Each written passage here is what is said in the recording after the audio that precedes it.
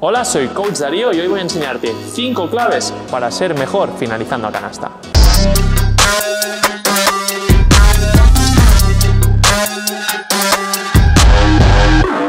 Un error muy común es finalizar demasiado rápido y no controlar la finalización. Muchas veces vais en carrera muy rápido y aquí no frenáis y la finalización no la controláis y por lo tanto falláis. Es importante que cuando me estoy acercando al aro, con ya los primeros pasos, incluso con el último bote, ya frene mi carrera un poco, lo suficiente para poder controlar la finalización y poder ser efectivo y anotar canasta.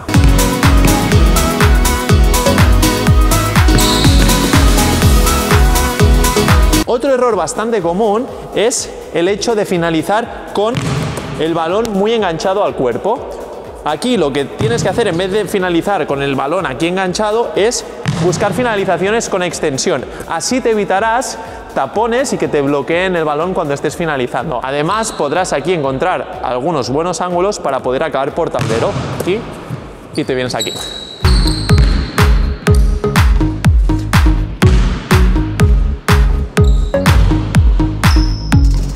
Una de las claves que también tienes que aprender y que es muy importante es utilizar fintas. Utilizar sobre todo fintas de tiro. Entonces, cuando estás aquí, poder utilizar fintas de tiro, incluso venir aquí, hacer otra finta de tiro para engañar a la defensa y que puedas hacer que la defensa se equivoque y poder tener una, una finalización más liberada.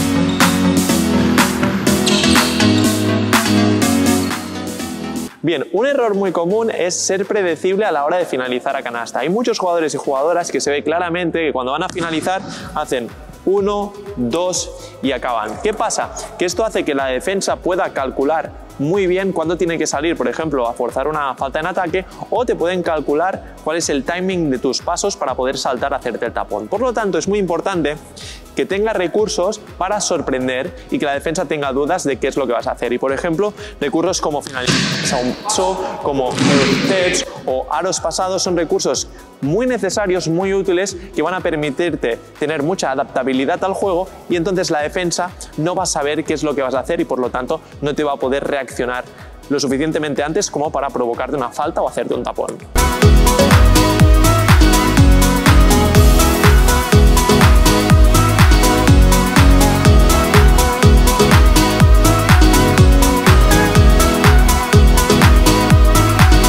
Por último, un último consejo es que necesitas tener habilidad con las dos manos. No solo te puedes quedar con las finalizaciones con tu mano dominante, sino que es importante que también utilices tu mano débil. Por lo tanto, hacer ejercicios donde puedas aquí trabajar con ambas manos es muy interesante porque te va a favorecer a tener mayor desarrollo y control del balón.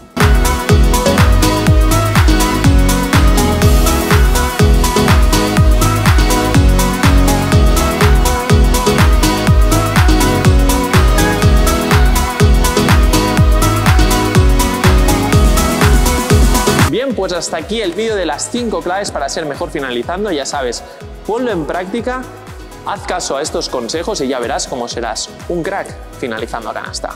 Dale flow a tu juego.